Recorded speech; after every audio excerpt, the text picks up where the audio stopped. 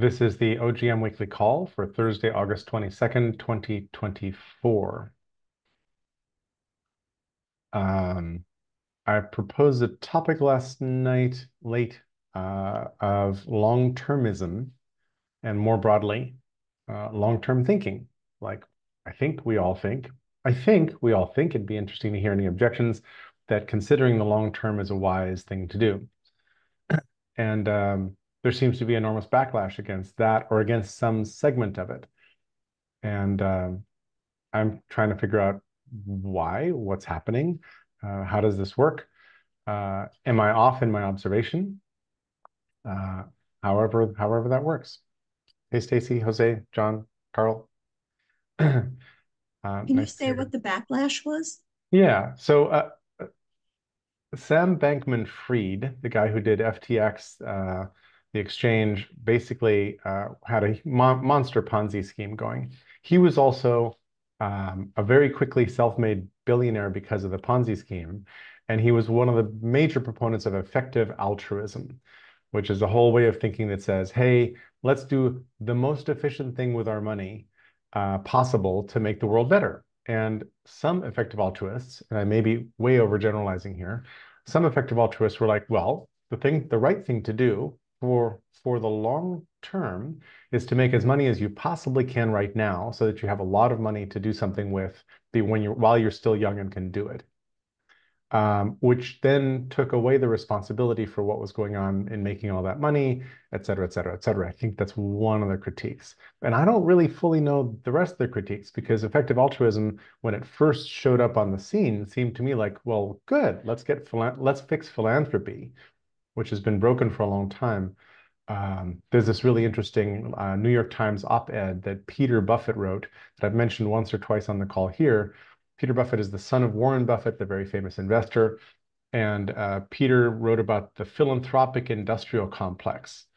And he said, uh, when I was young, my dad didn't give us that much money, but then he suddenly gave each of us a considerable amount more. And I started getting invited to meetings I wasn't invited to before. And I started to see a really weird dynamic in these meetings, which was that very often the left hand was trying to fix something the right hand had broken. And he said the problem here is that there, there was a whole industry, and he called it the philanthropic industrial complex. There's a whole industry here of people who are pretty well off and running around on the philanthropic circuit as a lifestyle business, not necessarily always fixing stuff or making things better there's a bunch of other dynamics around that as well. But but so so I give that as background because when effective altruism showed up, um, it seemed like, well, good, somebody's going to think differently about philanthropy and giving and whatever else. One of my background beliefs, just to put this on the table, is that the reason the US has such a large nonprofit uh, sector is that the for-profit sector is busy causing so many problems.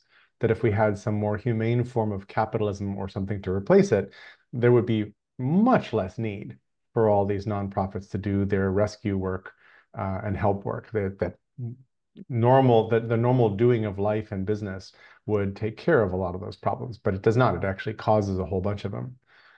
Um, so uh, does that does that make enough sense, Stacey? And I, I'm not clear why effective altruism seems to have taken long-termism down with it, but there's a bunch of articles you can find. I, I, I I'll, I'll share a couple in the chat that are absolute takedowns of long-termism, which seems to be connected entirely to long-term thinking, and I'm not sure about that. So I could be off in my perception, but my, my worry here is that somehow, unexpectedly and quite vociferously, a bunch of people have have managed to put a dent in a lot of good people's work to think ahead and to actually plan well for our common future, uh, which might cause us to behave very differently today.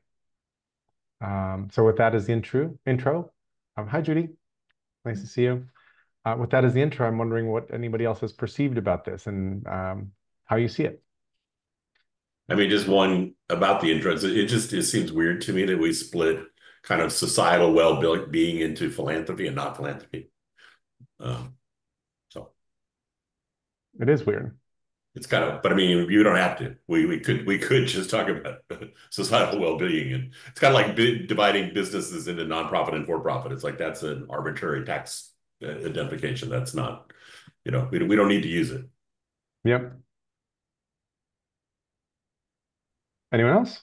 I'm posting a couple of the articles I just mentioned in the chat.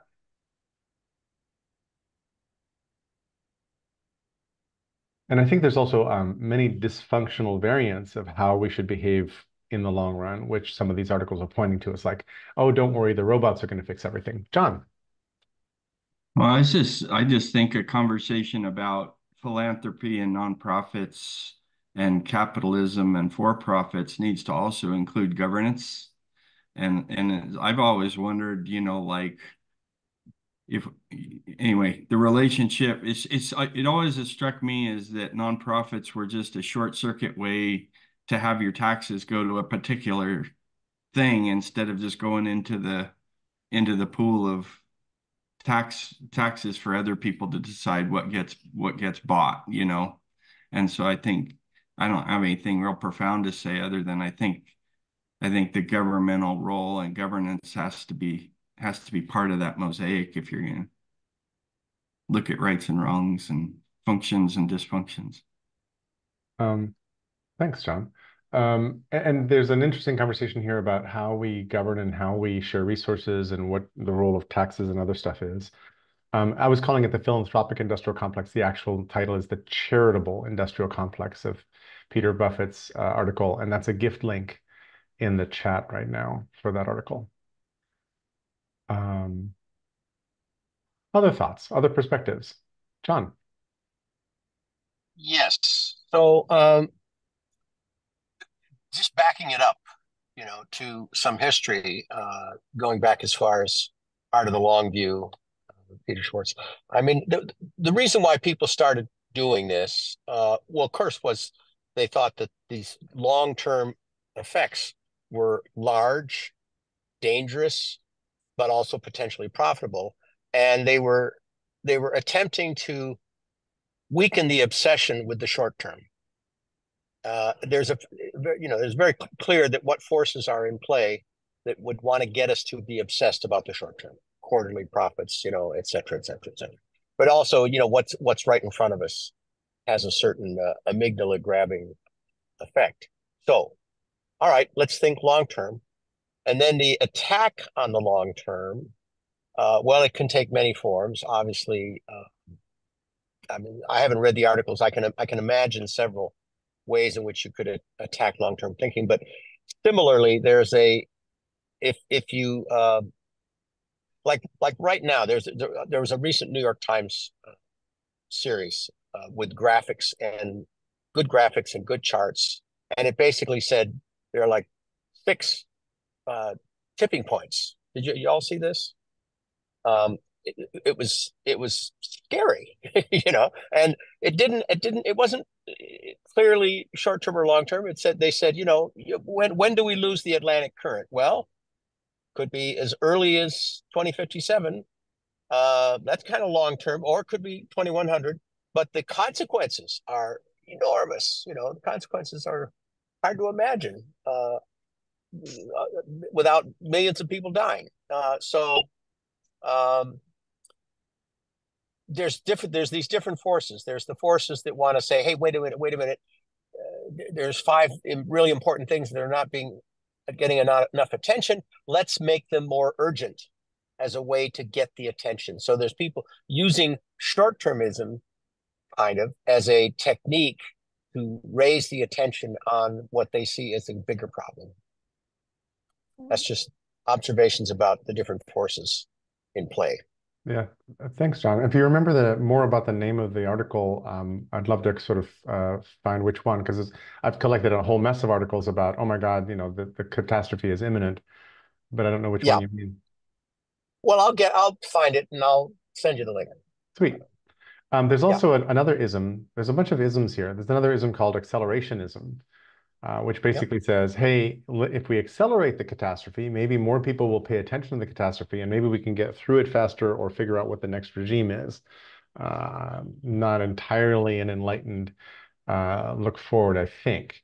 Um, Carl, I think you might have had your hand up before, Mike. Go ahead, Just- John. quick quick question you would distinguish i'm quite sure the accelerationism you just referred to from the ai accelerationist movement Uh, Which is which which is a branch of it.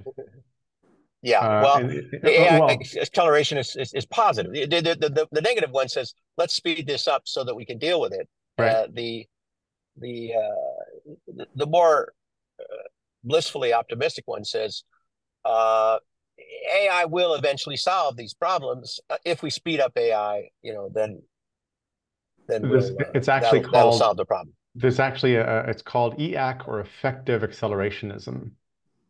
Okay, Um, yeah, Yeah, it has a it has a Yeah. its own little name at this point. But yes, that uh, I agree with. Um, that's an It's- important. it's Andreessen and those guys. Okay, Exactly. all right. Exactly.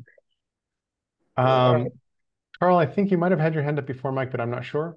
Uh, yeah, actually I did. Go for Uh, go for it, Carl, then Mike, then everybody else. We've got a lot of hands. Okay, yeah, it's, um, well, I posted the link. There's a project that's been around for twenty-eight years. It started as part of the UN. Um, they came up with, uh, fifteen global challenges, but then they kind of split off from the UN when the UN went with the development goals strategy and stuff, but they get into Delphi and like state of the future index and things. So I, I put those links in Mhm. um, and stuff that well you were just talking about that that reminds me of uh, the Monty Python go charging in and then it's like run away? It's like I mean, that with we have a huge lack of systems uh, systems thinking is, is part of it. And then um, yeah and then there's so that's um one of the projects I've been working on uh, um, with that with the International Society for the System Sciences and things. So that's been a big part of um, of what I'm what I've been looking at. Um, we had a person come in and talk with the um, with the um, with efficient altruism. Is that or Yeah. yeah, that um, effective. The example they used was um, that like getting um, um, nets to address uh, malaria and stuff. Um, and I brought up, well, okay, we save a lot of lives, but then you know that that's going to exacerbate other things like are they going to starve to death or you know things and then um and they brought up they brought up um the one they decided they were going to uh, attack was the um, Make a Wish uh, Make a Wish Foundation, which Hmm. I also thought was kind of strange because I mean you got, um, I guess that that's one. Well, yeah. So anyway, I'll I'll stop there. But yeah, it was just kind of interesting that that's the one they decided to bash. Yeah. Thanks, Carl. You're reminding me of a book. I'm trying to figure out what book it was. Uh, that talked about how in Europe and then the Americas, a series of revolutions happened in kind of what I'll call in retrospect the right order. So there was the agricultural revolution, the hygiene revolution, a bunch of other things. Because when you have better hygiene, people can live longer because a lot of your diseases are basically bad water and, and you know transmitted diseases, uh, and medical revolutions and so forth and then how in other countries the revolutions happened in the wrong order. So India under the Raj uh, goes through this the wrong way because the British kind of take over India and then screw that up and don't understand the the implications of, of all that. And I'm I'm I wish I remember the the name of the book because I, I I'm paraphrasing it poorly, but it was really intriguing because I don't know how much control we have over these things, although we do have control over when and whether we budget for a healthcare system or a or, or a sewage system or a clean water system. Those are clearly major infrastructural projects that happen. Um, but it seems like if they happen in the wrong order, a lot of people starve, um, or or other or other kinds of bad consequences can happen. Um, Mike. Thanks for proposing this topic. Um, it's one that is in front of my mind and has been for about 35 years. When I first got in politics in the 80s, there was a pretty interesting cadre of congressmen and a few senators who were very focused on 40, you know, 30, 40, 50 year projections. And it wasn't just the Atari Democrats like Al Gore and John Kerry, it was also Newt Gingrich. And they, they, they formed something called the Congressional Clearinghouse on the Future and would bring in people like uh, Toffler, um, some of, I think Peter Schwartz probably spoke to them. And this was the mid 80s. But no one does that anymore. I mean, it, it's just considered a waste of time to try to figure out where we'll be in 20, 30, 40 years. Uh, this is personal to me. I'm on the board of the Arthur C. Clarke Foundation, which has been around for 37 years. Our goal is to get more people to think like Arthur C. Clarke and to do future thinking, to think about the implications of some of our new technologies, and to not just think about the economics and the technology, but also the societal consequences, the psychological impacts. But it's hard for us to get any funding to, to do the events we do. We're gearing up to do our annual gala dinner at the French Embassy here in Washington, the middle of November. And we're honoring Nicholas Negroponte. We're honoring the Webb Space Telescope and we're honoring the Monterey Aquarium and three institutions and and people who try to get us looking at, at a bigger picture. But it's it's it's not something people have time for anymore. And we don't see a lot of futurist books anymore. Um, maybe the science fiction writers are doing some utopia development, but in terms of the rigorous kind of analysis like Peter Schwartz is famous for doing, I, I, am not seeing as much. Maybe I'm looking in the wrong places.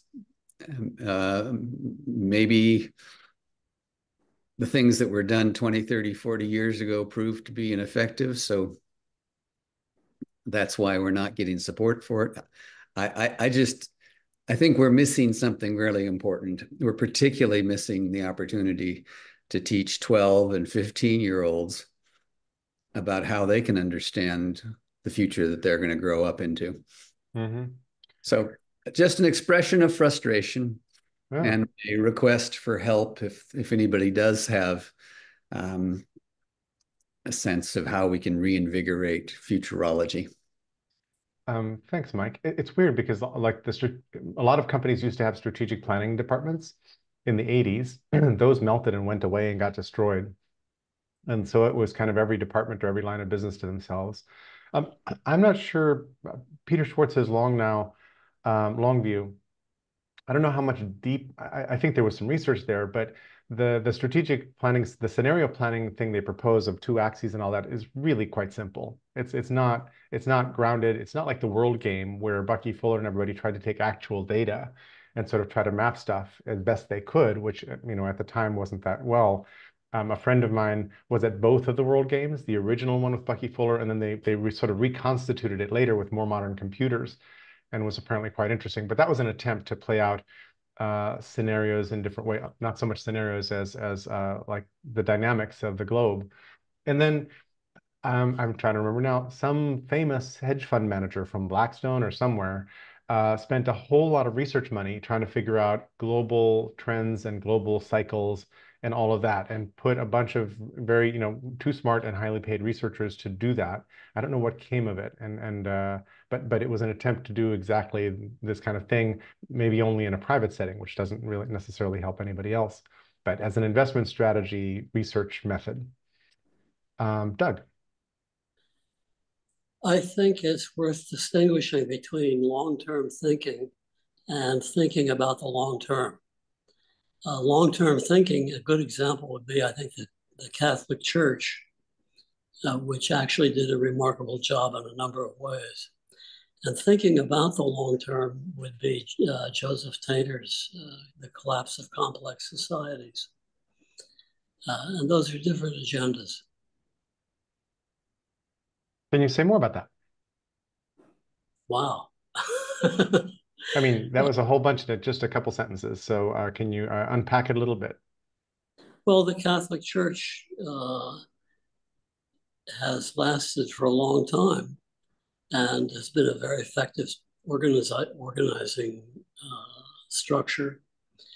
Uh, maybe not to our liking, but certainly you can't miss the fact that it had a huge impact uh, on culture and society, and that it, its thinking was long term.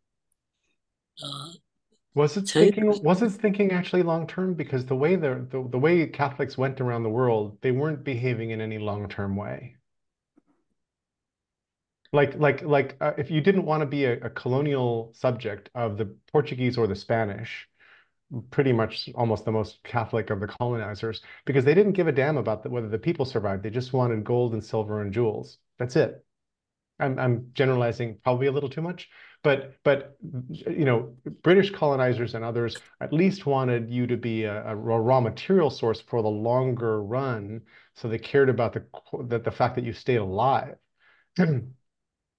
I'm being I'm being a little harsh, but but I'm unclear that the Roman Catholic Church, other than having a vision of an afterlife in heaven and all that, is was actually planning for the long run. They happen to have been very durable and to have had a huge effect on the planet. I'll I'll grant you that. Well, I take for example the movement to build cathedrals in the 11th, 12th, 13th century. That's marketing. Uh, that's like we have the most powerful come building on, in town. Come on. Look at us. It, it, it's culture and it's extraordinary. It stimulated the Renaissance and many other things. And it's just long term thinking. You don't build a cathedral for next week. Uh, so I don't want to defend that idea anymore. If it doesn't take, it doesn't take.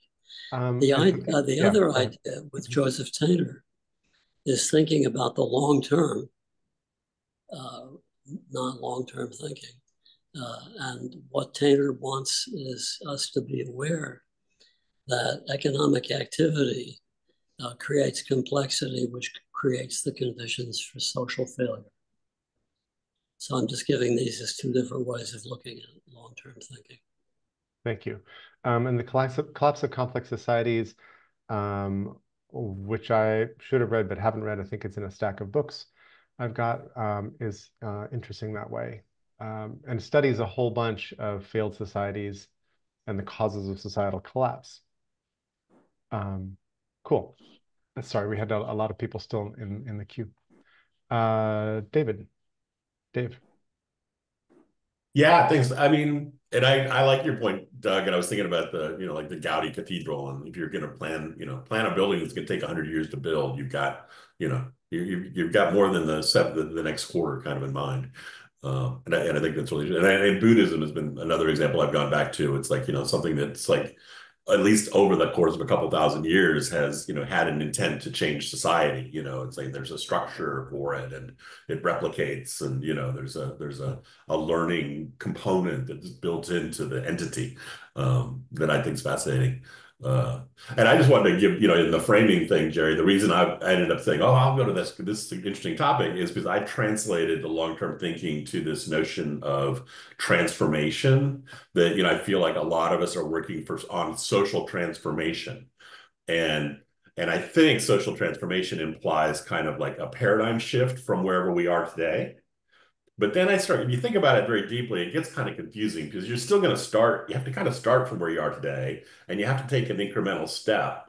How do you take an incremental step that's not on the same paradigm, you know? And so you end up with a curve of some sort, it feels like there's a Zeno's paradox kind of thing going on here, you know? And so you're you're starting from where you are today, no matter what your goal is, you know? And so you claim you want to be at a different plane, but getting to that different plane, how, what does that mean, kind of, and and how would you think about that as somebody who wants to do social change? Um, and so I've ended up with a few kind of images that I think I, I like. One is this idea that that you you see this social change from the perspective you're coming at it from you know so mike sees it from you know from the asimovian perspective you know i kind of see a lot of it from the the we created the internet we could do cool things like that again you know so there's perspective there's a lens and so the, the line that I got was like, there's many, many paths to the top of the mountain. And and I think that's probably true. You know, there's there's a lot of different perspectives that kind of move you up to the top of the mountain. And then one of the problems is, are you on the right mountain? Um, and I don't know how you answer that one. Um, thanks, Dave. On the topic of how do you make a small change go on a new path, um, one of my mentors in grad school was Russell Ackoff, one of the founders of systems thinking. And he had a process called idealized redesign, where he would run people through an exercise to rethink their company uh, by helping them imagine that their whole company was destroyed. Uh, that there were no records, there was no database, there was no, there, you know, the, the remnants of their old business were gone. Just the people who constituted the business showed up on Monday and were like, oh my gosh, now what do we want to do? And it gave them a chance to really rethink um, their, their, their capacities, what was happening in the world, and come up with an ide idealized future. And then, and which is not the same as long-termism. It, it was long, it was medium-term thinking from my own present perspective. So I'm not using it as an example of long-termism. But then when they came back and sort of backcast into the present for what to do now, if they had two equivalent candidates for a job position, they would they would then know to choose the candidate who better fit their idealized plan, the, the, the thing they were now shooting for. And so it did inform, as far as I can tell, every small action they took because now they had a shared vision, a better shared vision, which was still plastic. They could they could mutate it a bit of where, where they were aiming uh, that was different from where they currently were. Um, so I, I found it like hugely useful and, and, a nice exercise for how to make people uh, let go a bit of the present and uh, step into some alternate future and then make it come about. Um, Judy, uh, you're muted. I routinely do that because there's background noise. Um, I think that we've got a couple of really big issues that I'm not sure we can do anything about, but I just want to surface them. One is that we have an array of people and organizations doing some level of thinking about what the future might be, envisioning alternatives, but we have no one that really systematically develops a map to change that if it needs to occur, to identify critical areas. I mean, you might think population was an area, you might think pollution is an area, all of those subsets. But moreover, we don't have any way to, to, to really inform the larger body of people and engage any action on those things. So there's an execution problem. Even if you have a good plan and you've identified the issues, you don't have a way to effectively execute to try to address those issues. And I think that that comes back to a systematic problem in our educational system in terms of teaching the young people of the world, the leaders of the future that are going to be there doing things in 30 years, how to examine in a different way and how to inform themselves to take action. And underneath all of that, there's a huge level of people who are just not functioning at a very good level at all. And these issues just get so overwhelming that I get tired thinking about them. they do. They do. And there's a big tangle of uh, big tangle, tangle of spaghetti on the table already, and we're half an hour into this conversation. So I, I don't it would be interesting to maybe think about tackling some of those in segments so that as a collective group we could think about okay let's do this week on this tier and next week on that tier or every other week or something that might be a way to focus it i'm i'm concerned in almost every situation that i'm in that people are not engaging and they don't even engage intellectually to actually think about what's being discussed let alone contemplate doing something that might affect their personal behavior or the favor the interactions that they have with other people and trying to influence them. So there's just an incredible um, stagnation, I guess is as good a word as any, but it's very frustrating. it is. Um, Judy, what you just said made me realize that a, piece of this, what about long-termism and backlash against long-term thinking that I'm perceiving is right parallel to backlash against wokeism, woke, and all of those kinds of things. And I'm I'm wondering who's backing the lash, like like who's on the other side and and arguing uh, against these sorts of things. And I'm very interested in Aikido strategies that flip the dynamics. I'm seeing the Democratic National Convention where uh, April and I were like, nah, we're not going to watch. And then we get hooked early, and then we are just bawling in front of the TV night after night because it's been stellar and they are taking back the word freedom. They are punching the bully in the nose. They are doing a whole mess of things I wish they had done for a decade. Um, and it's really interesting. And there may be there may be some other things that come out of it that I don't like, but at this moment they're just knocking it out of the park as far as I can tell. And I and part of why I'm motivated with about this topic of long-termism is is there a way to help people um, care about helping to plan a common future again. Judy, like you just said, people are disaffected, they're not engaging.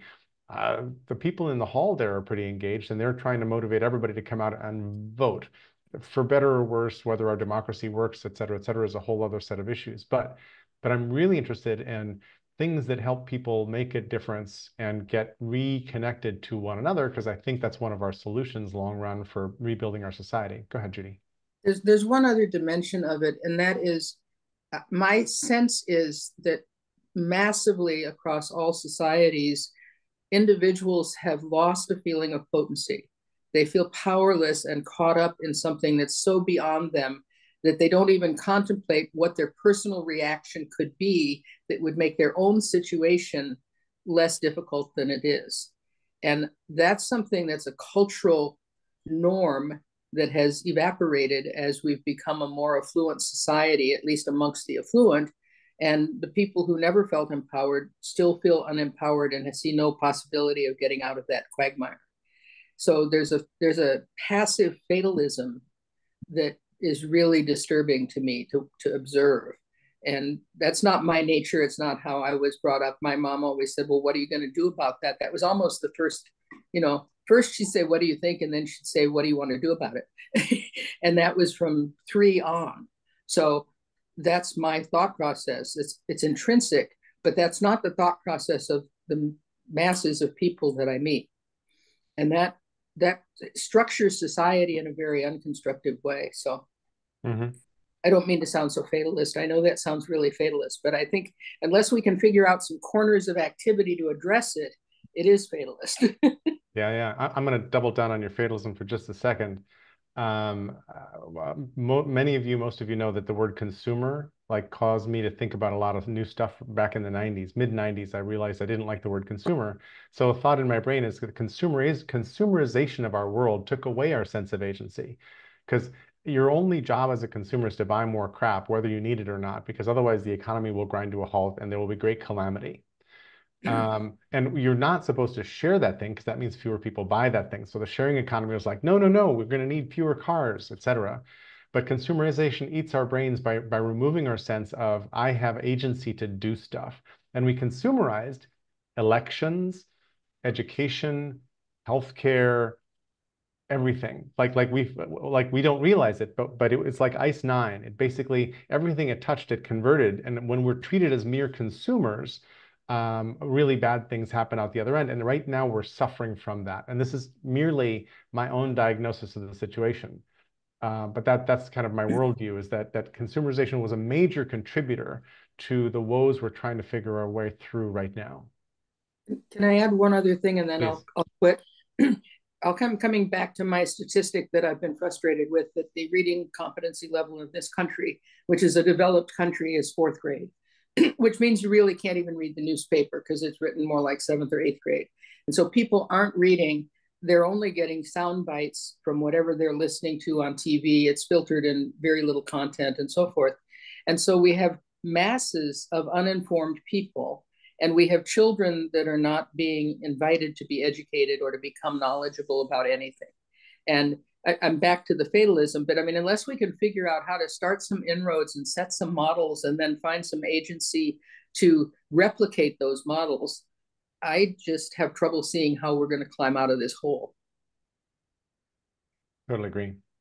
Um, thanks, Judy. Um, oops, got my I'll windows mixed up. Uh, don't, Judy, that was really terrific. Don't, no need to be quiet. Uh, thank you for jumping in. Uh, Carl. And thanks, for, thanks, thanks for being patient, Carl. I was digressing a lot uh, in there. So go ahead. Uh, yeah, it's um, so such a rich conversation and things. Um, one of the you um, mentioning Toffler earlier, that in particular the book The Third Wave and stuff. It's kind of as it kind of ties the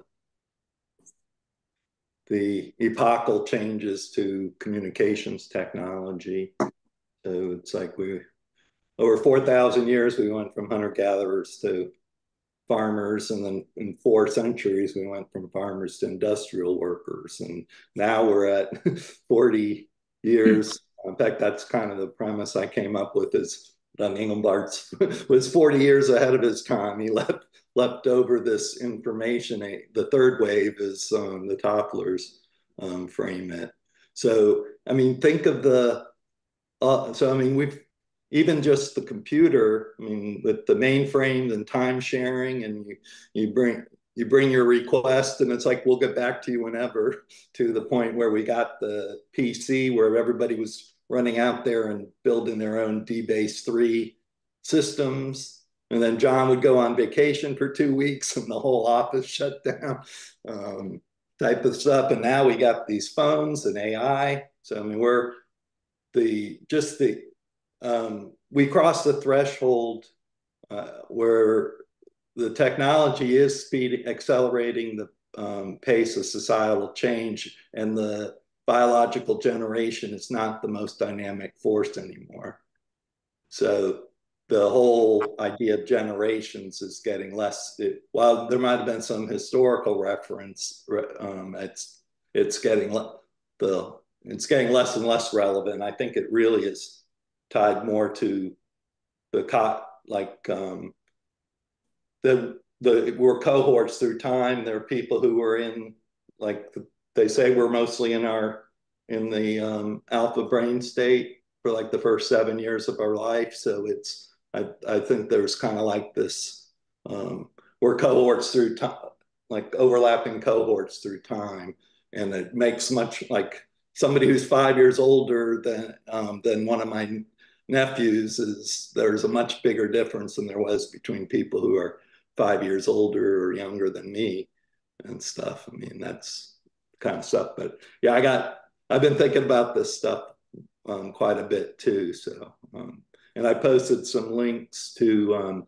that Millennium Project. I mean, they they identified 15 global problems. So for 28 years, I mean, if you talk to anybody who's involved with that, all you have to do is say challenge 11, and that's about status of women and and stuff. So they they there's a network of think tanks all around the world and stuff. So I've always been interested in that. I wasn't sure if Mike had any connections with um, Jerome Glenn is the executive director, and he's here in DC, as well as uh, that John Petersen um, with the Arlington Institute. I read oh, a book oh, of his like from the 80s on I haven't talked with him in ages.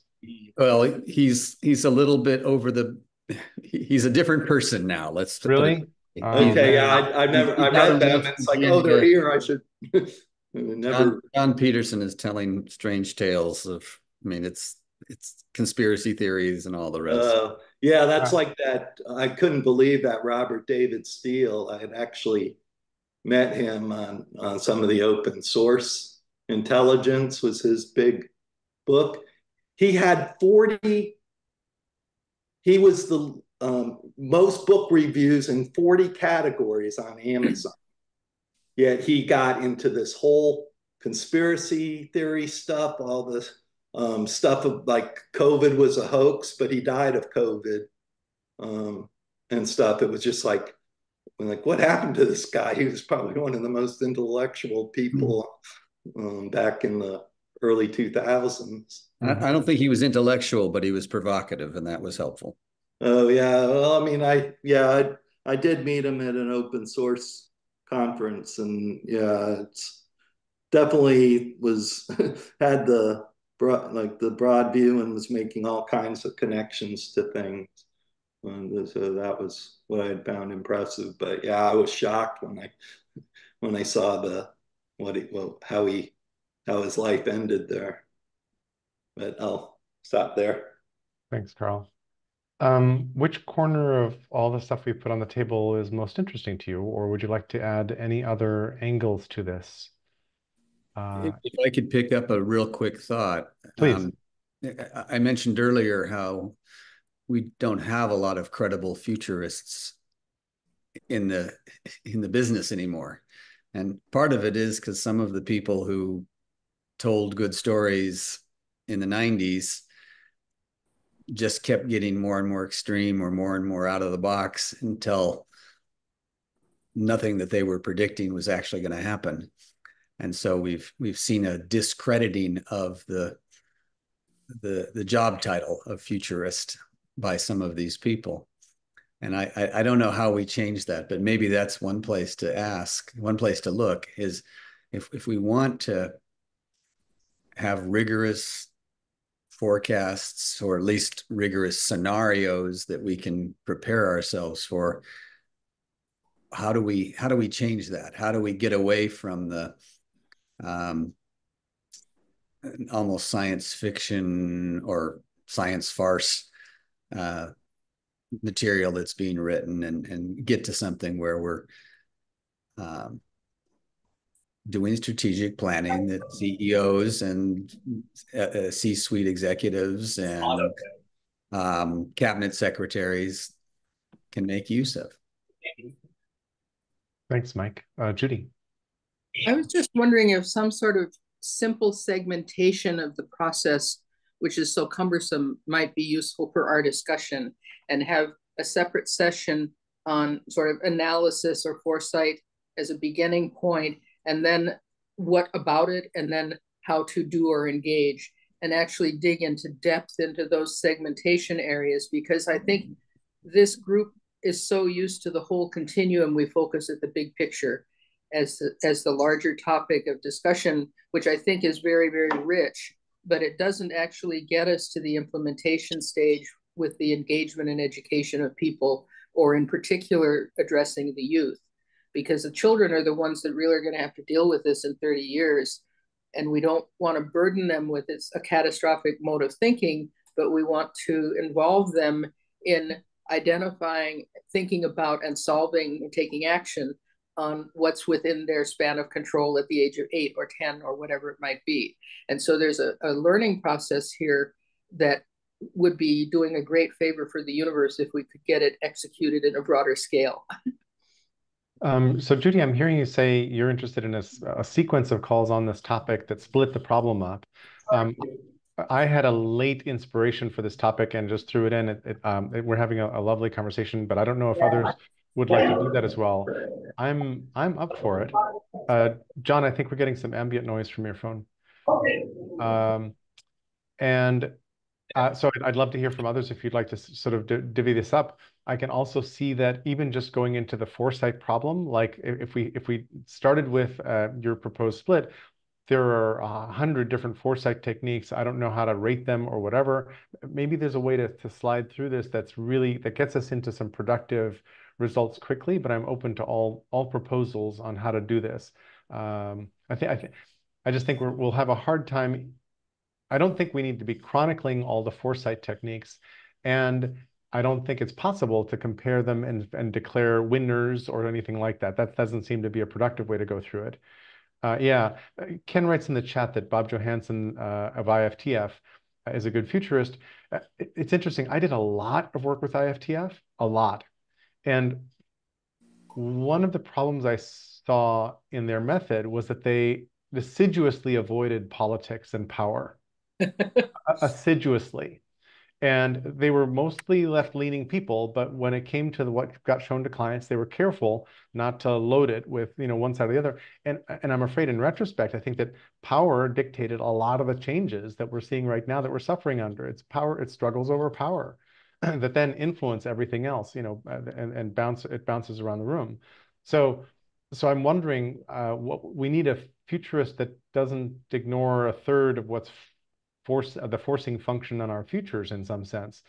Um, and I I think that uh, if you look at the NeoBooks project or our work trying to create a you know collaborative sense making or collective intelligence, the stuff that we've been chipping away at with like plastic spoons for the last four years since the start of lockdown is the stuff that could contribute a lot to solving this.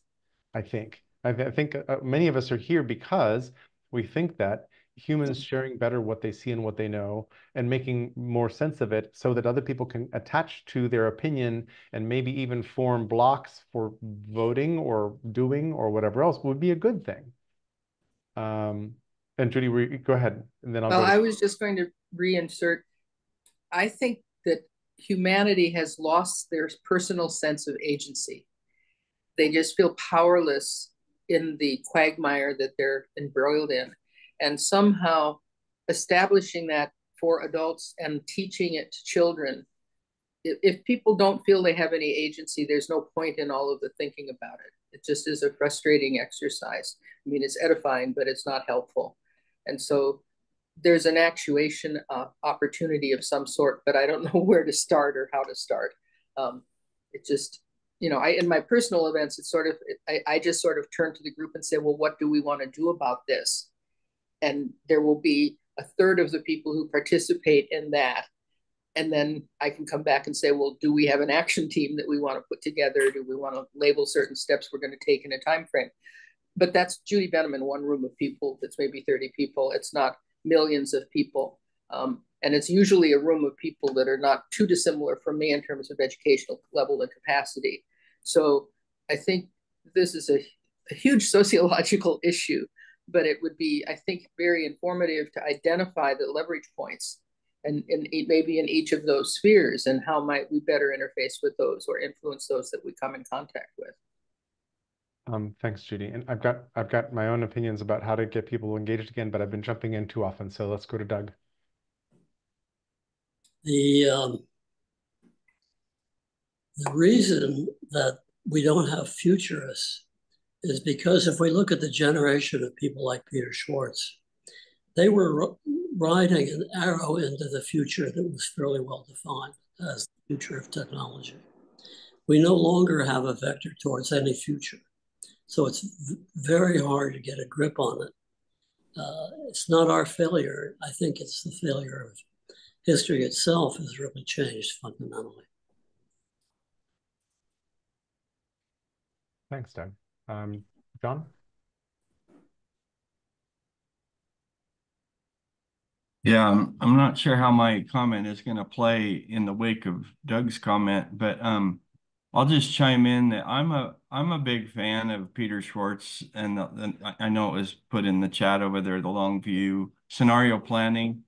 Um, I think it would be consistent with the philosophy of open global mind uh, to recognize that there's an infinite number of futures possible, right? And and this idea of trying to predict the future um, is folly. Uh, no matter how uh, intelligent or informed someone thinks they are, I think. Um, and but but then the thing I was going to say that that isn't I don't think consistent with what Doug just said.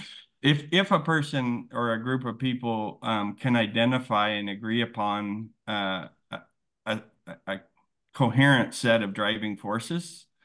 Um, and then looking at at futures the way uh, Peter Schwartz suggested, which is cast out an array of possible futures and and almost set them up as archetypes. If You're not saying the, the, let me interrupt myself and say the problem I always see when I try to introduce scenario planning and people try to apply the idea is so quickly it turns into alternatives analysis and and like I don't know what it is about like our contemporary human psyche, but but people want to say, well, there's this future and there's that future and you know, like watch the Republican and Democratic conventions. You know, they're talking about, well, if this, if you vote wrong, this is going to happen, or if you vote wrong, that's going to happen.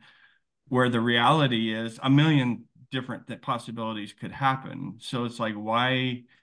I don't know why we have this propensity to say this is the future or that's the future but I'm a big fan of the idea of there's a future that looks kind of like this. There's a future that looks kind of like this. There's a future that looks kind of like this.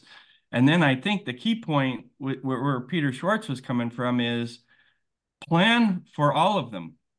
Plan for any of them and and and look at these different ways the world might take shape and have your plan be something that works back to back to um, Judith's agency, right? Like agency is about being prepared for all possibilities. I think it's consistent with the open global mind philosophy is any of these could happen. So what, how am I going to go into the future um, anticipating these and and what's my plan that works the best in in all of these different scenarios rather than being you know wedded to or dependent on a particular future right anyway I, I i just really really love that book and i love that that cognitive structure whatever you call it framework yeah Thanks, John. And and there's somebody in this Zoom who's done more of that kind of work than probably all of us put together, and that's John Kelly, um, sitting in a cafe in in in uh, San Francisco someplace. Um, and uh, John, I'll, I'll, bring you into the conversation in just a sec. I want to go to Ken, then Doug, then then pass to you, so you can okay. Think about what, what you want to jump in with. But uh, Ken, go ahead. Good morning. Uh, I think it's snow morning for Stacy, and I think everybody else is on the east coast, on the west coast. Oh no, actually, we could have a couple east coast people. But um, if you saw the Plex today, uh, Dave Witzel was good enough to include the video of the um, interview we did last week with um, uh, Liz Carlisle, and in her book, which is quite wonderful, I highly recommend it. Um, she talks about regenerative capacity of the land and regenerative farming, and that um, at, right towards the end of the book, she asks uh, an indigenous person, "What is it really all about?" And she says, "It's ancestor work. It's ancestor work. That to regenerate the planet requires that we reconnect with our ancestors, both those who came before and those who will come after." This is my interpretation. That's not what this woman says. But to me, ancestor work always includes those who came before and those who will come after. And I think that's one of the big missing pieces in the puzzle is people are isolated. They don't have a sense of belonging uh, to a stream of humanity that's been going on for, you know, hundreds of thousands of years or possibly millions, if you, depending upon how far back you want to cite the emergence of, of humanity. Um, and we don't have a sense of how it's going to, how, how it goes forward into the future. And a lot of that has to do with the fact that most people are disconnected from the land. Um, when you are not connected to the land, you fall out of the the rhythms and cycles of nature. And I think that has an enormous impact on most of the uh, postmodern contemporary thinking, especially that of organizations, where you have people who are 100 stories up, totally not connected to the land, making decisions that are impacting people tens of thousands of miles away with zero uh, zero awareness of the consequences of those decisions. But they make sense on paper. They make sense in the fast world of, of economics, of, of business, of making money. They don't make sense in the slow world of building up soil capacity and regenerative capacity. So uh, that's a little bit meta, but that's where my mind goes. It's uh, never met a meta I didn't like, and that's a really good one, Ken. Thank you. Um, Doug, then John. Uh, John. Uh... I, I did a lot of work with Global Business Network and Peter Schwartz. And one of the things that's clear is that Peter had one main interest, and that was making a lot of money. He also had the fantasy if, if he had that money, he could live forever. Uh, the idea that there was something wrong with capitalism was not allowed in the discussions within GBN. Uh, and I think that it just died because it was no longer dynamically relevant to the real issues. Interesting. I, I participated in a few GBN things and I've been sort of in GBN circles for a long time. I don't remember there feeling like there was a taboo against criticizing capitalism, but that makes sense to me. Um, and yeah, yeah, uh, the, the yeah. Enough said. Uh, John Kelly. Yes, I would have to agree with Doug that uh, inherent in GBN and inherent in Peter's outlook was of course some some version of capitalism is is with us. It's going to be the thing that that gets us wherever we're going to go. Um and so let me just rewind a little bit. Um there was this idea that uh which i agree with completely. It, i think john brought it up that the reason for getting scenarios is not to pick the best one. It's not to predict the future. It's to force yourself to experience a richer range of alternatives than you're going to be comfortable with uh, on your own. And on your own is important. I, I don't know. I mean, I could sit down and I could write four scenarios for the future of any number of things because uh, I did it a lot. But I would I would a little warning light would go off in my head and it would say, "Hey, you know, you're doing the thing that you, you know, you're you're very strong prohibitions uh, against doing that because there's the understanding that it has to be the product of uh, discussion, it has to be the product of multiple minds. So, in a way, scenarios themselves are a device for forcing the appreciation of multiple perspectives. There's also what you do with the old with these scenarios so that you know that that idea that we slipped into alternatives thinking. One of the ways we tried to break this uh, when we ran scenario workshops was we wouldn't let people say which one was best until the very end and before we got there we said well which one is let's rank them in terms of high risk low risk let's rank them in terms of how much they match your current resources or they stretch your current resources. Let's rank, rank them in terms of how much they offer advantages to somebody else who might be your competitor, might be your collaborator. You know, and it, it, again, we kept changing the lens, and that would force people out of their their preferences um, for which one they wanted to do. And then finally, we would get around to the to the end and we would say okay now which and, and, and our version of was not best it was which one are you willing to commit your agency to which one are you willing to say this is the one i'm going to put you know i'm going to invest in invest my energy and my credibility and then which one is the one that's most frightens you that you want to put a scout on uh, you hope it doesn't happen but you want to put a scout on it to uh, to watch for it so that's just some stuff about scenarios. There's a uh, there's someone named Jem Bendell. Uh, some of you, you, you know, we've been, we've mentioned him here on the calls before. He's the deep adaptation guy. Yeah. Okay. So I just it, it's very interesting in terms of taking the scenario issue and the capitalism issue and a couple of other issues and and in a way flipping them on their head. I mean, he's going to do.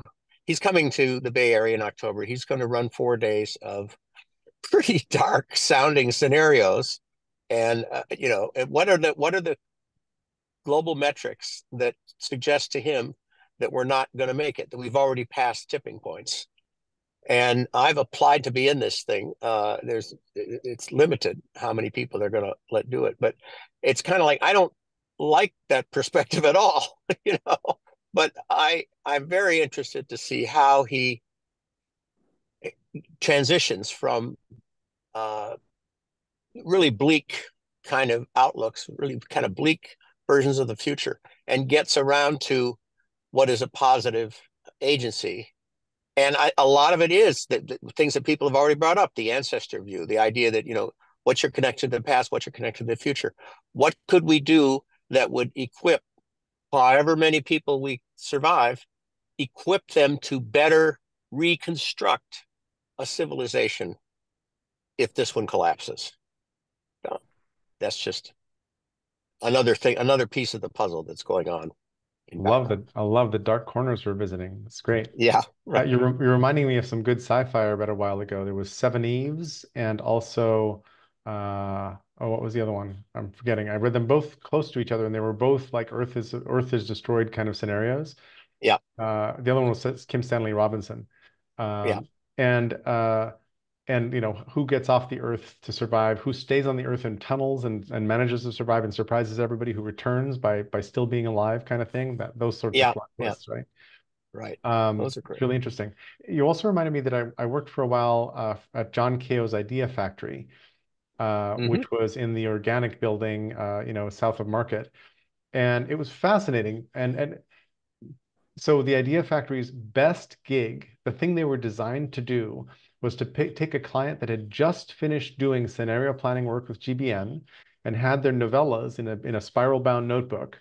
They would take those novellas and enact them. They hired uh, a, a, a, several improv actors known as the the the Fratelli Bologna or something like that. um, and they would they would then create mock-ups they would create a time magazine cover from the year 2020 or whatever some you know some some far distant future back then uh, and they would uh, try to enforce, eh, you know, divide up their space. They had a, they had a, uh, Erica Gregory was their producer, and she was out of theater and magical, really, really good at, at doing all of that and writing scripts and all that. And they would they would I figuratively I thought of it as they would take the client another mile down the road and then drop them off. And mm-hmm. it really impressed me how long it takes to absorb some new way of being in the world. Yes. Uh, it, it, it really like like we would have had a hard time imagining the ubiquitous intertubes, uh, you know, 40 years ago. It's, a few people had the vision and they were like, yeah, yeah, yeah, we're just going to have ubiquitous communications. Look, it's going to be great. But even they would have been hard pressed to say that in their lifetimes, they were holding a slab of unobtainium that allowed them to communicate at nearly zero marginal cost with anybody around the world in full motion video. Like, really? Um, and that and that that would lead to TikTok and that that would lead to TikTok, and the TikTok would be a, a, bigger phenomenon. Uh, you know, would grow as big as YouTube, et cetera, et cetera. Those things are not easily seen. Um, uh, mm-hmm. and so one of the things I suggested to Idea Factory that they didn't do was offer every client to start four mailing lists, uh, one for each scenario. And mm-hmm. anybody from the client company can hop across the mailing lists, and we will staff the mailing lists with people who would enforce those scenarios so that they could just yeah. dip into it and experience the conversation over time in the in this altered reality. I'm not even sure a mailing list with a facilitator would work, but at least it would continue the thinking deeper because you finish an interesting workshop that changed your mind. You go back to your daily pressures, you are sucked under immediately and you're not going to be able to influence a whole lot of people with a, with a lot of change. The alternative is you hire McKinsey or Deloitte or somebody to come in and do a change program for $10 million and many of those don't work either. So how do you cause this change of perspective in people? If I can say just one thing we tried and we it was a hard sell. We could not we did we did get a division of a company, large company, and I'll tell you what happened to them.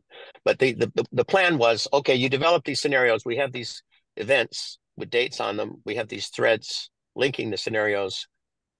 That's the workshop, you know, that's the kind of standard paper and so on workshop thing. Don't let's not just take pictures of those. Let's actually physically save these boards. Let's roll them into a closet. And every month you roll the four of them out and you say okay any events happening on this scenario any events happening on this scenario so hmm. on so on so on it was a tough sell we we the only place we got that bought that approach was the software development uh, division of digital and when they tried to go upstairs with their insights from that, they hit the, the wall. You know, they said, in fact, at one point, um, digital forbade the use of the word strategy. For some divisions. that and so that entire group, you know, just sent their resumes out. You know, they, some of them came to us and they said, "Can we can we just come and work for you? I mean, we can see what's going to happen here. We're going yeah. over a cliff." Yeah. And we said, "No, unfortunately, you can't work for us right away. Go work somewhere else, and then you can come back." Yeah but uh, yeah, they just they just all scattered because they could see digital wasn't gonna wasn't gonna act on the, the wisdom that they had developed. Just yesterday, I found uh, I found something I've been looking for.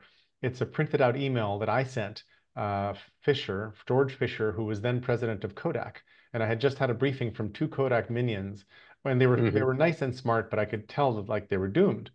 Um, so I wrote an email to the to the president saying, "Hey, whatever, and um, three weeks later, something like that, in the mail, I get a printout of my email with his handwritten response. Wow. And I'm like, well, this is one reason why. yeah. Right here, I've got evidence. Right here. here right. Here's, a, here's an artifact. Yeah. Here's a receipt of the demise of Kodak. There we go. Dave. Yeah. Yeah. Well, so I mean, one of the things that like it's fundamental to me is the so much of the conversation, like Joe, you just kind of use the words like we can't get them to decide, you know, and and there's the implication that a lot of our work is to influence them, um, and make them do something different, and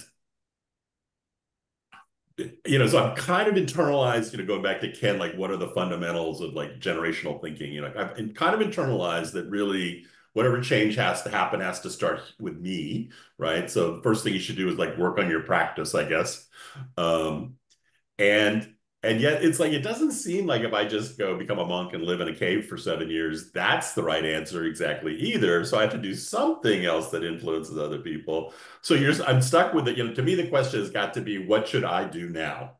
You know, um, and and and then, you know, so then the long term, you know, I guess there's a notion of like, I'm going to work on a long termism framework, or I'm going to work on an effective altruism framework, I don't know, something like that. But, but I mean, I think we do have to take it back to like me doing now, you know, and and a whole bunch of this is I have to be able to think better, I have to be able to communicate better, you know. I, I think a ton of it is self help, but. Um, yeah, uh, it's um, it's funny because also uh, consultants often have more uh, outsized influence in companies because often after an interesting consulting session, people will walk up to you and say, I've been trying to tell them that for years. And then uh, your answer to them is, yes, the problem is you're an employee and you're in a subservient position to them and they're not paying you enough money to listen to you or something like that.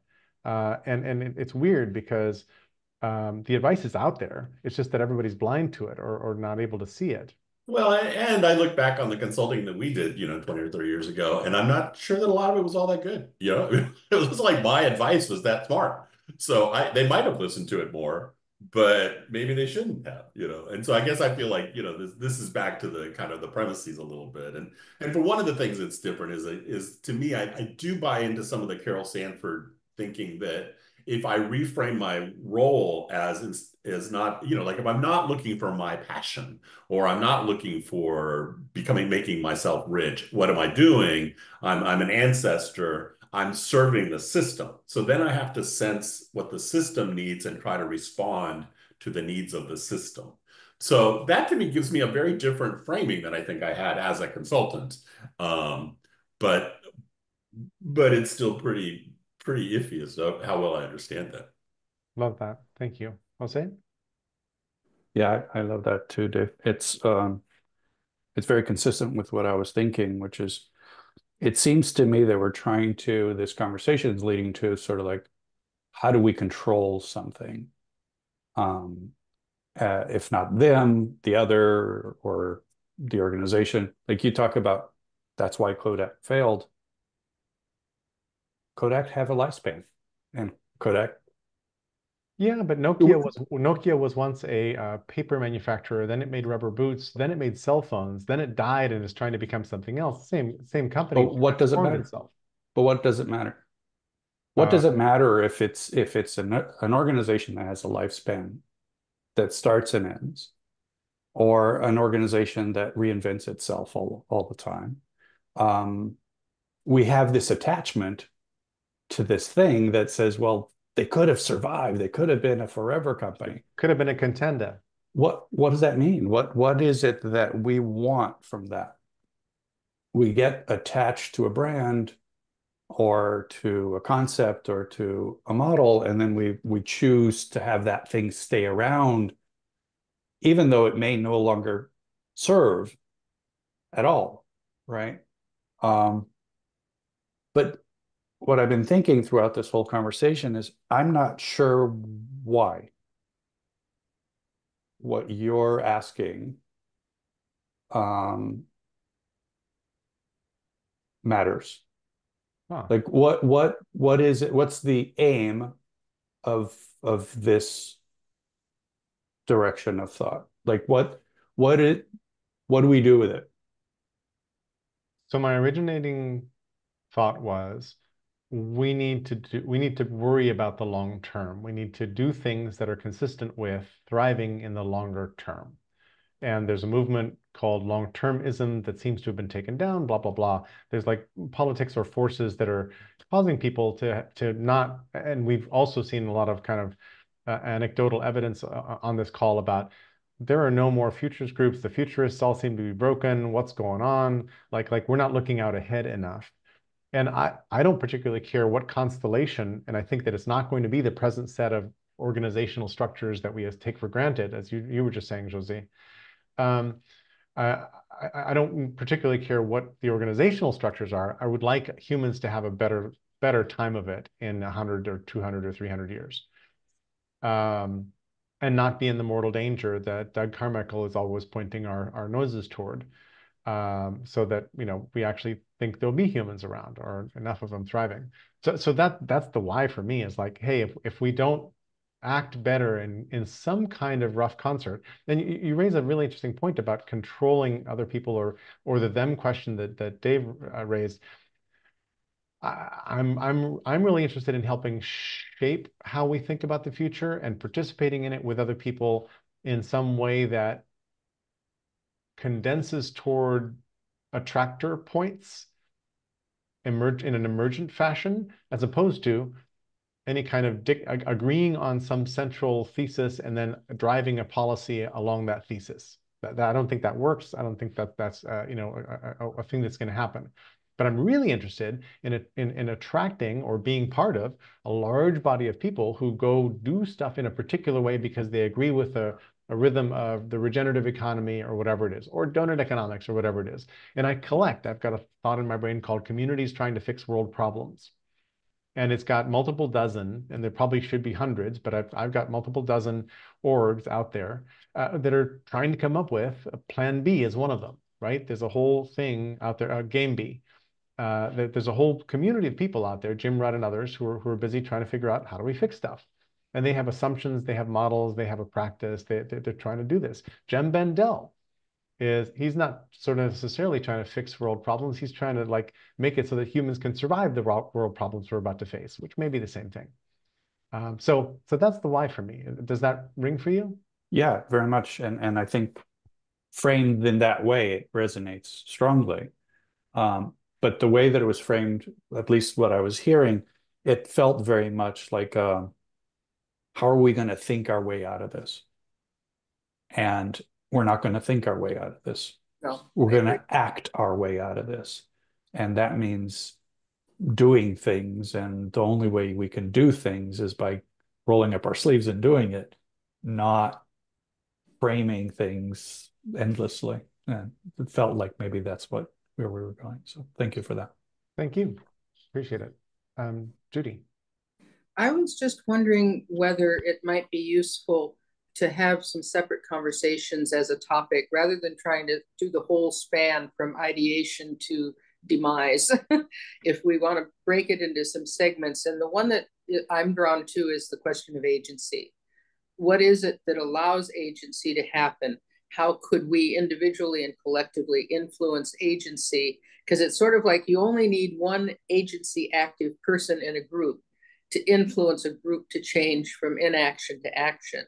And I'm wondering if there's if that would be worthy of some deep diving on how to facilitate both in contemporary society and through children in the future of the world a sense of personal agency that they do have the ability to influence what they experience and do and what others experience and do because that's without some action component it's hopeless.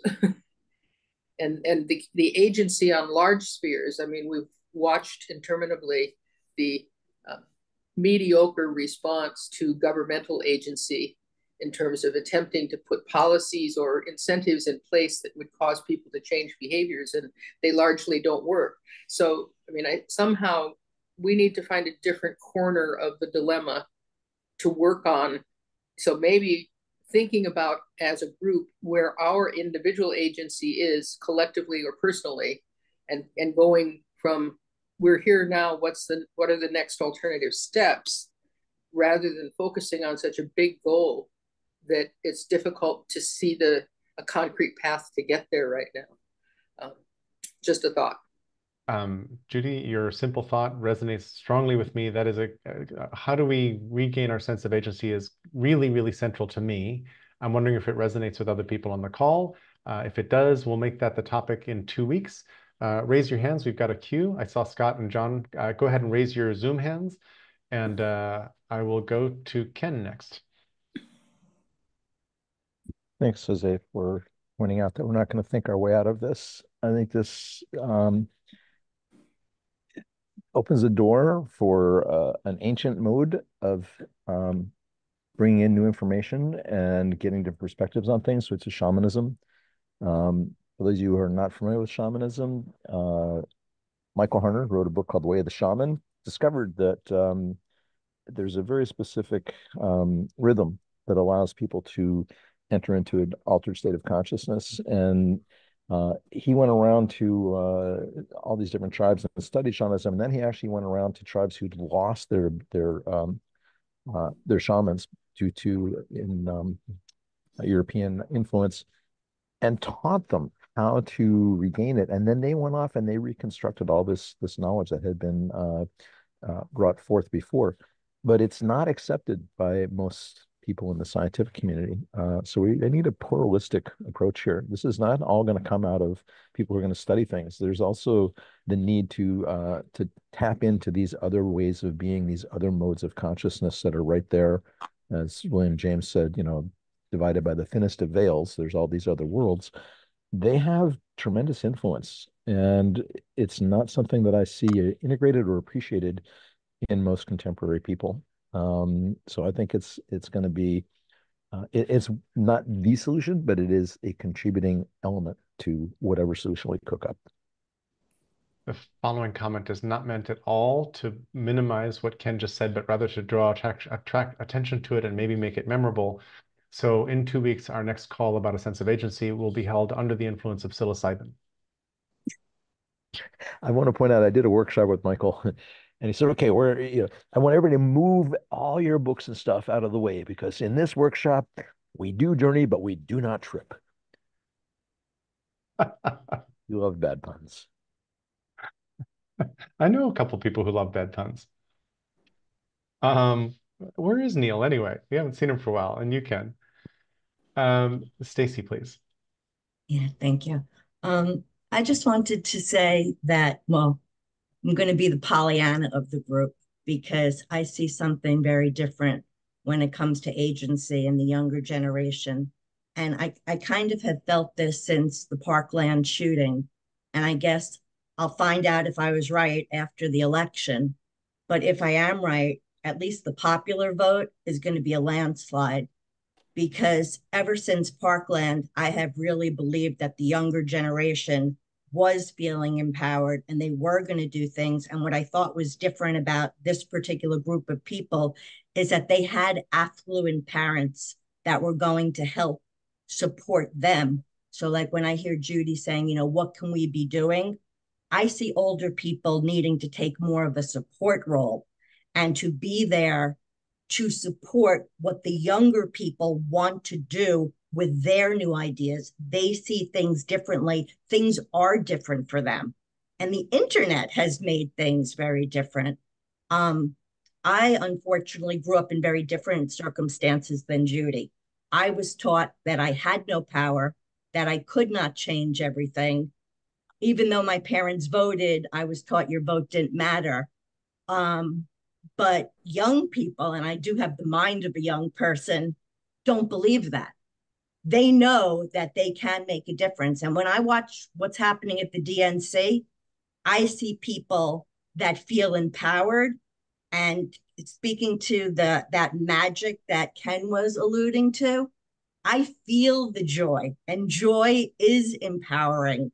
And just one little snippet, you know, I heard it rumored that um, you know, we're always taught to put things in the positive. We will do something and I heard there was a little pushback that the the chanting was we won't go back. We won't go back.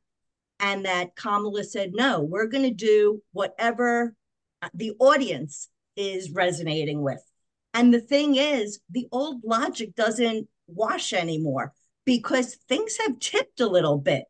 And there's an anger coming up and we won't go back. And so what may have worked 10 years ago, 20 years ago, that's not the same as what there is now. And I just want to share one more thing because it's just been on my mind. This is a piece of paper from about 15 years ago. And I wrote down a quote. I was watching PBS and I was listening. Deepak Chopra had written a book with this neuroscientist about the brain and consciousness. And he wrote, There's a spontaneous evolution of self organizing dynamic, dynamic networks of karmically connected souls. People who have the same soul values are organizing themselves by themselves. For me, this has always meant the internet, and it's how I find find my way in this room right now.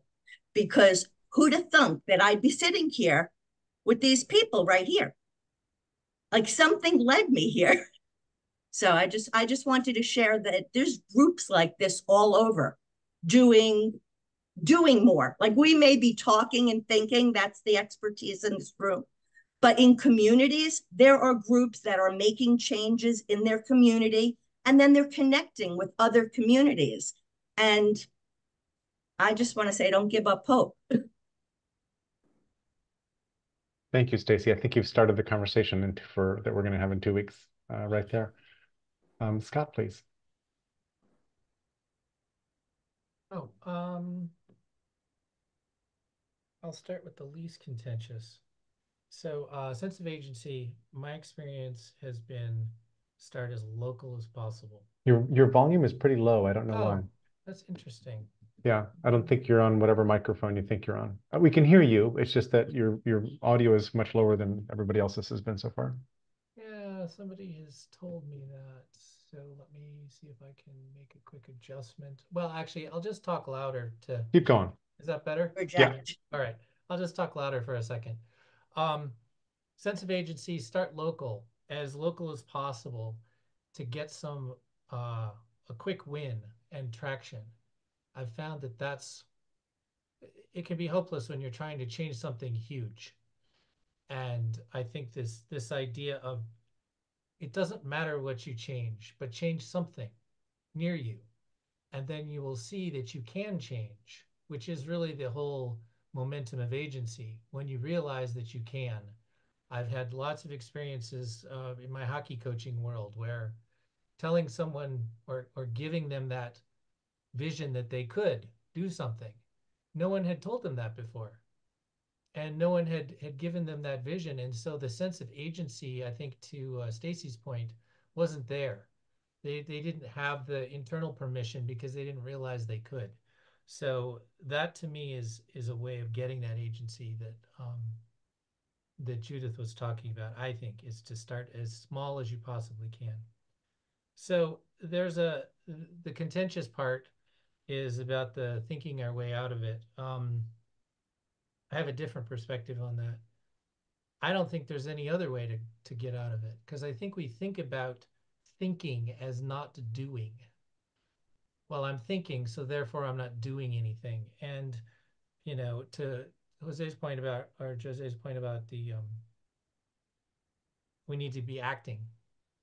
It's like, well, yeah. And, and the first step of any action is making a distinction about what you're going to act about in relation to other things from a certain perspective. You have to think in order to act. And so it's, you know, okay, go, go ahead and act. Um, it's kind of like, you want to play a game? Anybody want to play a game? Okay, you go first. And and what do you do? Like you don't you can't do anything until you know the game that you're playing. And that's a that's a thing where where this group tends to go into well maybe if we don't think our way out of it maybe we can feel our way out of it. Maybe we can sense our way out of it. And it's like i i don't see that as any different from thinking you have to make a, a, a thought try it out go into the action and then think again and act and think and act. I don't see those as if i'm thinking i'm not doing anything so th- again, that that's my that's my thought. That's coming from a lot of that systems thinking work that I've been doing. So um anyway. Thanks, Scott. Yeah, thank you. We're nearing the end of our call time. I have loved this call. Thank you all for jumping in so wonderfully. Uh, anyone want to summarize or set some challenges for our next conversation? I think I think we're agreed here that uh, the sense of agency that Judy put in the room is a nice topic for two weeks from now. Next week we'll do check-in. Week after, we'll do that. Um, any other thoughts? I just wanted to uh, follow up on the sorry on the on the sixty percent thing in the chat there, Jerry, and the landslide, yeah. Stacy's landslide. And my, my point simply being that this is like that was the biggest vote differential that the United States has had in I don't know maybe ever. Yep. And it was it was you know sixty percent. Right. And you know we what was the last election was forty thousand votes out of a couple hundred million. So, so it, it turns out that the the change, these dramatic changes, swing around very small differences.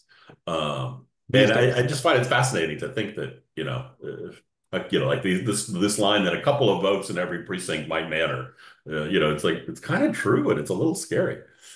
It is a little frightening. Um, let me go to John Kelly because he's driving first, and then to you, John Thank. Thank you. Uh, yeah, I would just add the thought. I like a great conversation. I like the way we're going. I like the plan for the future.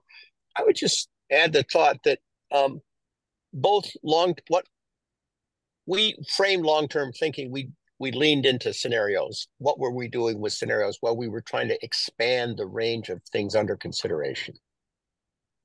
The same rule can be applied to long and short term thinking. You know, it, initially we went to long term. I mean, some of the people went to long term because they thought we were obsessed with short term and they needed to weaken short term. Other people think, no, no, we're not. We don't actually realize that we're very close to these tipping points. We're not being short term enough. Neither neither perspective is is uh, is permanent. You obviously have to consider both long term and short term, and you have to consider multiple versions of the long term and the short term all the time. But fortunately, we're capable of doing that. you know, we have great uh, possibilities for creative narrative, and that's how we should we should use those capabilities. Okay. Score points for apes with language. Love it. Yeah. Um, John Warner. Yeah, mine is just a question. You mentioned uh, focusing on agency in two weeks. Is there something happening next week? They're not happening that we alternate formats uh, on the OGM weekly call. So every other week is a check-in call where we just go around the room and everybody checks in on whatever they're doing that's OGME. We also have a lot of silence, a lot more pauses in the the check-in call. So it's it's just a matter of our our rhythm. Thank you. Cool. Um, Mr. Homer, have have thou hast thou a poem for us? Of course. So I found this poem this week on my computer. I have a tendency to take screenshots of things. and I found that taking a screenshot of this poem and don't know where it came from, but I thought, you know, I like this poem. And then as I'm listening into it, I thought this actually would would kind of work because it, it does, it is related. So it's called What You Missed the Day You Were Absent from Fourth Grade. and it's by Brad Aaron Modlin. Mrs. Nelson explained how to stand still and listen to the wind, to find meaning in pumping gas how peeling potatoes can be a form of prayer. She took questions on how to not feel lost in the dark. After lunch, she distributed worksheets that covered ways to remember your grandfather's voice. Then class, the class discussed falling asleep without feeling that you had forgotten to do something else, something important, and how to believe the house you wake up in is your home. This prompted Mrs. Nelson to draw a chalkboard diagram detailing how to chant the Psalms during cigarette breaks and how not to squirm for the sound when your own thoughts are all that you hear. Also, that you have enough. The English lesson was that I am is a complete sentence. And just before the afternoon bell, she made the math equation look easy the one that proves hundreds of questions and feeling cold and all those nights spent looking for whatever it was you lost. And one person add up to something. That was beautiful. Would you mind reading it again? Sure. What you missed the day you were absent from fourth grade. Mrs. Nelson explained how to stand still and listen to the wind to find meaning in pumping gas, how peeling potatoes can be a form of prayer. She took questions on how not to feel lost in the dark. After lunch, she distributed worksheets that covered ways to remember your grandfather's voice. Then the class discussed falling asleep without feeling you had forgotten to do something else, something important, and how to believe the house you wake in is your home. This prompted Mrs. Nelson to draw a chalkboard diagram detailing how to chant the Psalms during cigarette breaks and how not to squirm for sound when your own thoughts are all that you hear. Also, that you have enough. The English lesson was that I am is a complete sentence. And just before the afternoon bell, she made the math equation look easy, the one that proves that hundreds of questions and feeling cold and all those nights spent looking for whatever it was you lost and one person add up to something.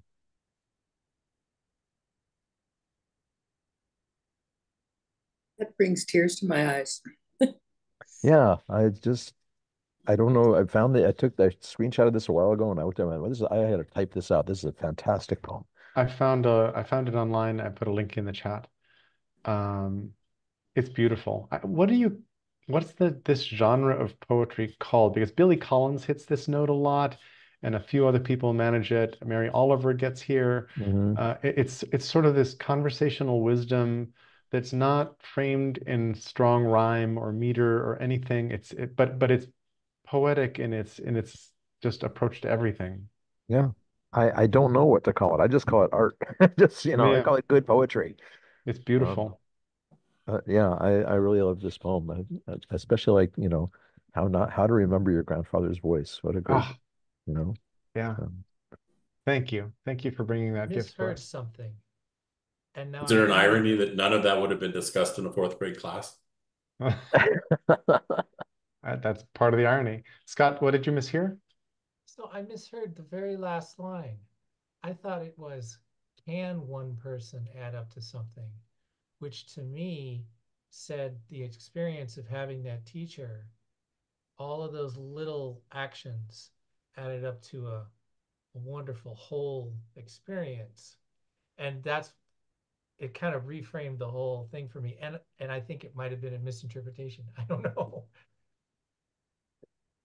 Well, that's the beauty of poetry. You know, you hear what you hear and your brain makes its own connections. Um, and it it's often whatever you need in that moment shows up.